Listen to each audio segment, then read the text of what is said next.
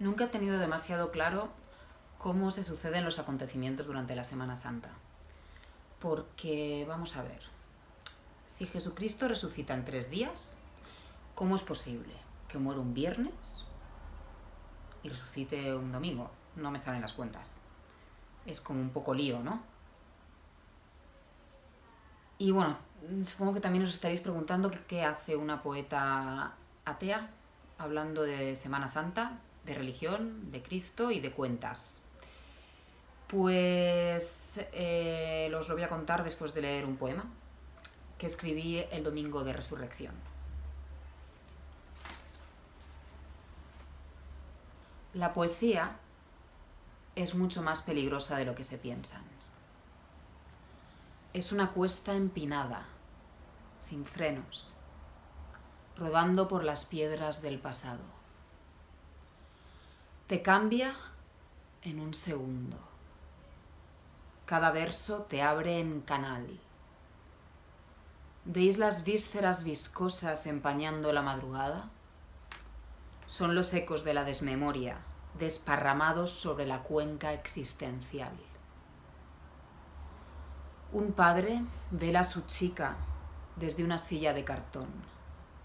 Los golpes la exprimen en diez copas de alabanzas y sobre el papel florece la vida en placas pálidas.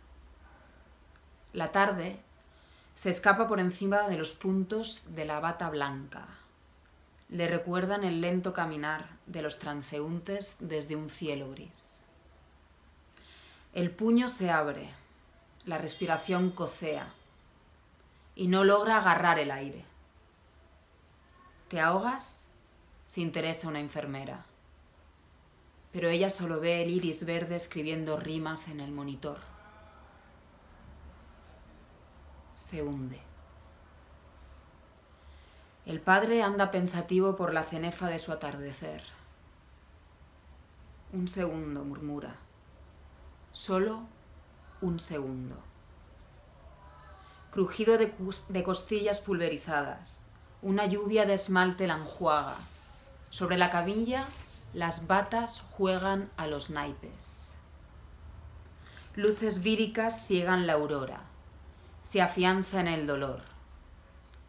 Los nervios prenden la vida atenazados y ella siente como la materia crece en su sentido. En la pista resuellan la arritmia, el termómetro de fiebres, la sábana mortuoria.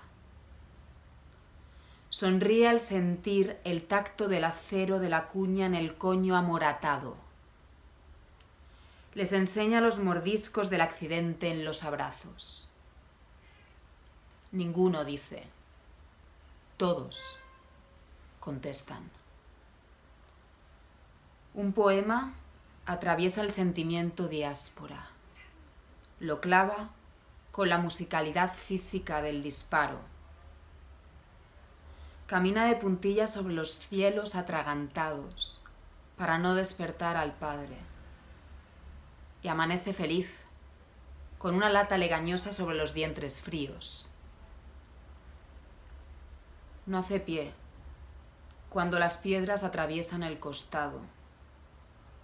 Tampoco cuando vomita la emoción hirviente sobre el lenguaje. Lo escucha cabecear sobre la silla de cartón. Papá, dame la mano. Cariño, voy. Un segundo. Es solo un segundo.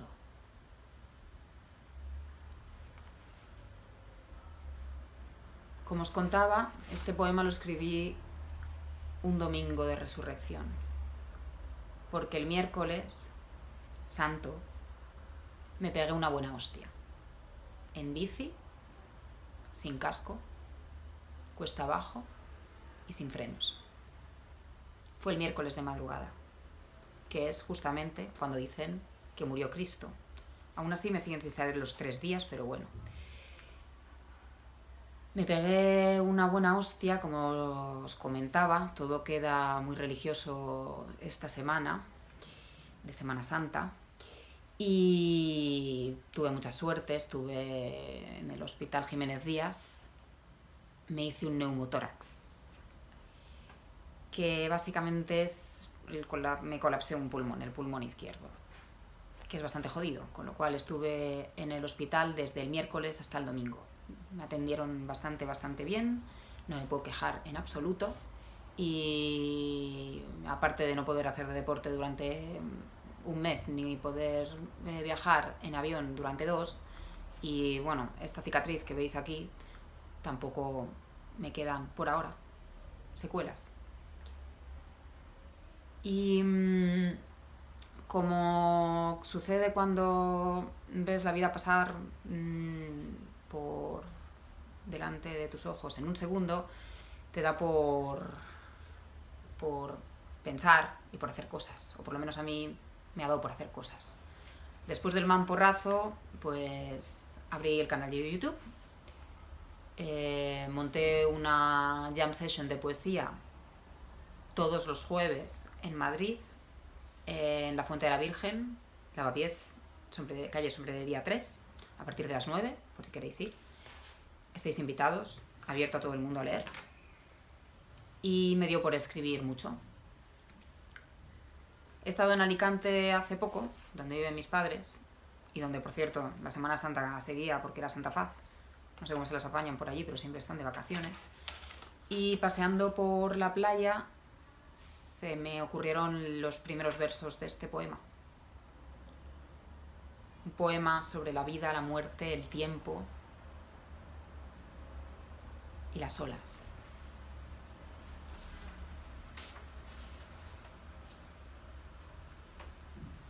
Ninguna de las olas es la mía. Todas llevan escrita la vida de los otros. Las oigo horadar el mecanismo de la memoria, desempantanar los cuartos superfluos. Oyan el reflujo de los recuerdos.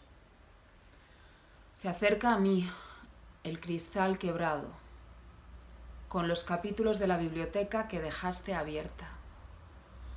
Huye, Huye por las lagunas de las compuertas que se penetran en un baile de tornados.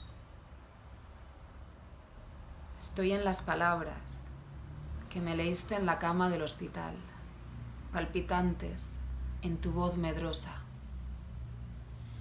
Conquista conmigo las catacumbas de las metáforas, empújalas a florecer mientras follamos. Descuélganos por los laberintos por los laboratorios de los muertos, hacia las penumbras de las alacenas, con el frío de los cuerpos soplando en la conciencia. Caen por tumbos los besos robados. Ellos se afinan los lazos de las botas, corriendo de adelante hacia atrás. Las palabras del poeta son los ecos que cavan en la tierra, la historia de los hombres. Como un altiplano peinan el mundo, destellando verdades, tendidas al sol. El fulgor quema las retinas y abraza los, y abrasa los abrazos, pero enciende el corazón de los humildes. Capitán de este barco retórico, no zozobres en la noche solitaria. Ellos te escuchan. Detrás de la pantalla iluminada de las sombras está el hombre con su realidad.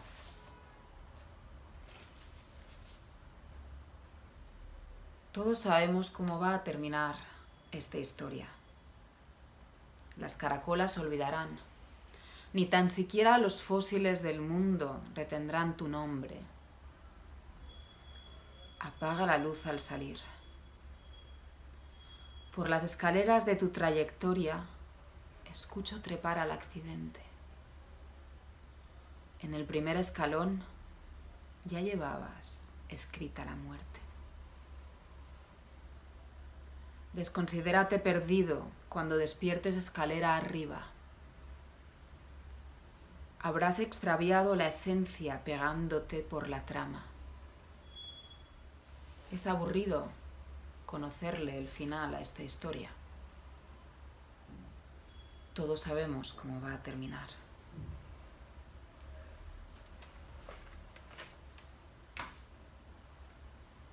Lo que sí que tenemos claro es que Cristo no murió con 33 años, sino que tenía entre 34 y 42. ¿Qué edad tengo yo? Eso lo dejamos para el próximo vídeo.